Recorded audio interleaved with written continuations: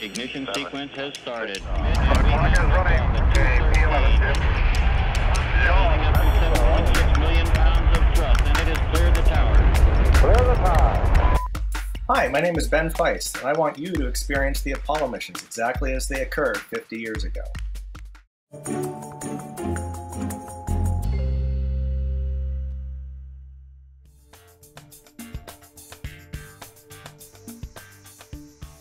Point, Tony. Go, Tony. Uh, we had a problem here. It has to close and the uh, heater vent was low.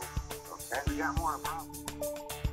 The original audio for the mission is one of the most interesting components. Uh, the audio itself has been in the National Archives on 30 track tapes uh, for the last 50 years, and there was only one machine that could play these tapes back. It was in a very special format. And we had to refurbish that machine and get it working again and have the tapes shipped back from the National Archives to Johnson Space Center. And we carefully digitized them so that we could hear them for the first time. The amount of material on the website in total is 7,400 hours of audio. Um, but what that means is you can sit in any position in mission control for the whole mission and just be that flight controller. 15 Houston, stand by for mode 1 Charlie. 1 Charlie. 1 Charlie.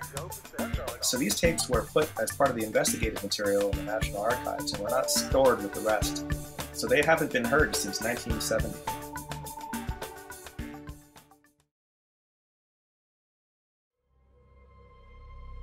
There's one particular phone call that we found um, where Marilyn Lovell, Jim Lovell's wife, phones Mission Control and wants to talk to somebody about um, what is going on. This is the morning after the explosion happened.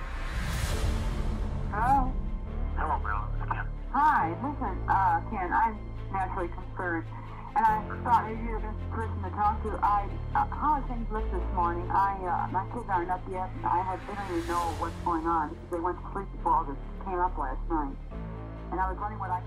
Here you can actually hear the reality of what this was and who were these people and how how worried were they were you know were they um, strong in the situation? Were they afraid in the situation? All those kinds of things are actual real questions that can now be answered through this material.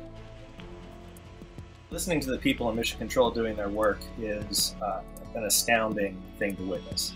Uh, we've heard for years uh, historians tell the story about how heroic the efforts were in mission control but before you hear it firsthand and you can hear the emotions in people's voices and the and the speed at which they had to make choices, uh, you can't really appreciate it. They didn't hesitate. They did what they needed to do. Now, through all this material, you can you can get to know the dry sense of humor of the crew. You get to know the way that they would banter back and forth to try to keep things light while they were under great pressure. Um, and you come back, come away from it um, feeling a lot more enriched uh, by the historical material. Um, I would love to do it for all of the Apollo missions. Uh, it's, it's a huge amount of work and, uh, of course, takes a lot of time. Currently, you can uh, go look at Apollo 11 in real time, and you can also look at Apollo 17 in real time. Really getting this material into a situation where people can listen to it and have access to it is the is the important part of this project. Um, I'm sure in another 50 years there might be another effort to translate them into some other format that will be however we consume our media then, which I can't anticipate. Um, but for now, this is the best way to do it, and, and I'm happy that we're able to bring this material into your living room. That was pretty. Looky there.